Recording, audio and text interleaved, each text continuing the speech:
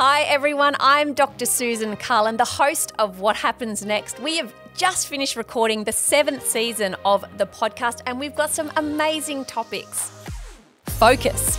Uh, in Australia, there are probably between 850,000 and a million people with ADHD. Future of food. Essentially, it's a basic human right that we all have access to food. Language. Our languages were taken away from us at the commencement of colonisation, really. Reproductive health. At every level, the world around us is literally built for the male body. NFTs and art. I don't know that there was really an effective way to trade digital art before this technology. Critical minerals. We can, in fact, transition to renewable energy and, you know, still charge up our phones and our iPads.